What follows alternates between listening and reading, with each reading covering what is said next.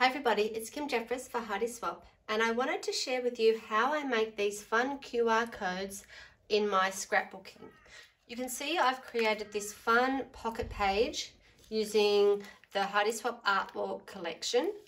Um, this is from when we visited Rome last year and we took our boys to a gladiator school and I created lots of, or I filmed lots of videos with my phone.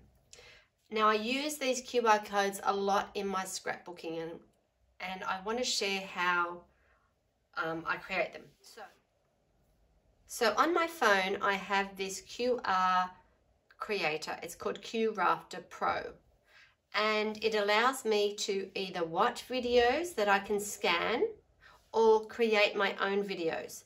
So to create my own videos, what I've done is when I'm um, when I got home from my holiday, I uploaded the videos that I took to my computer and then I upload and then I uploaded the videos to my YouTube account. And the videos are actually on unlisted.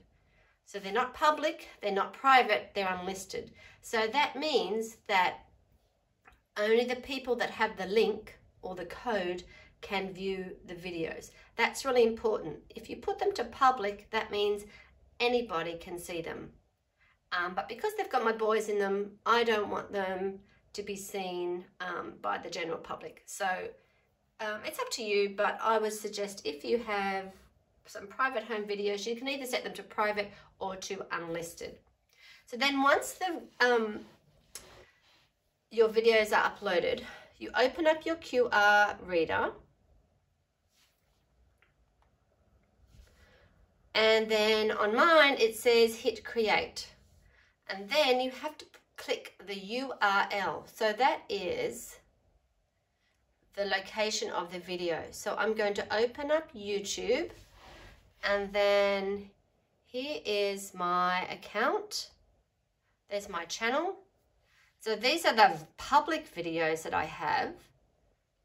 Then I can just click on videos and you can see here are my videos that I've got of my training, of my boys training. So I'm just going to hit one. I'm going to click on one and then I'm going to hit share and then I'm going to copy that. I can close that down. Then I'm going to go back into my um, QR reader and I'm going to paste the code. Now just to make sure that I've got the right video, I can hit preview content and watch video. Yep, and that's right.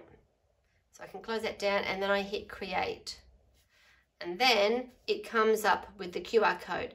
Now, you might want to change the color um, depending on your layout. So you can see here mine, uh, I've got some rusty browns and yellows and greens. But just say my colors were hot pink.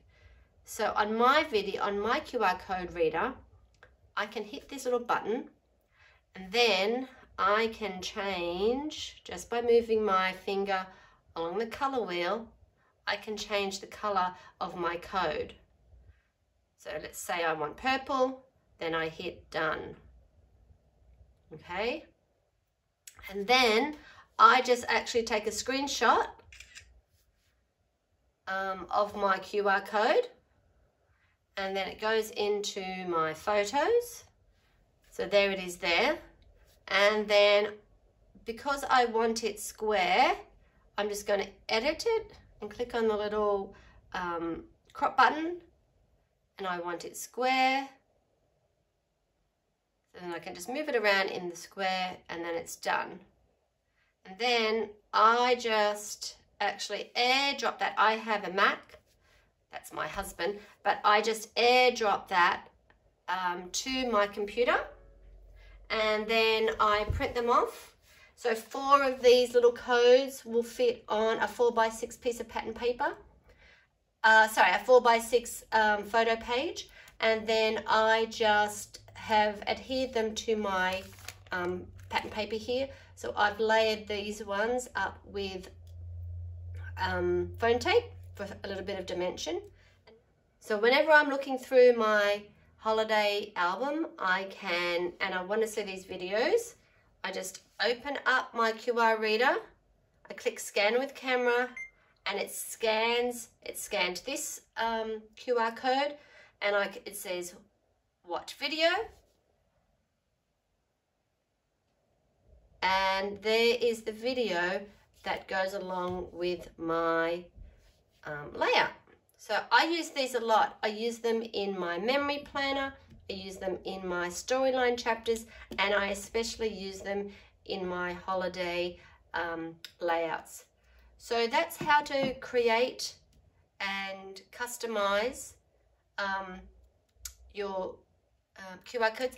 A lot of QR code readers just make them in black and white, but this one is called the QRafter Pro and it's able to customize to any color that you want your QR code reader or your QR code. Thanks for listening and bye for now.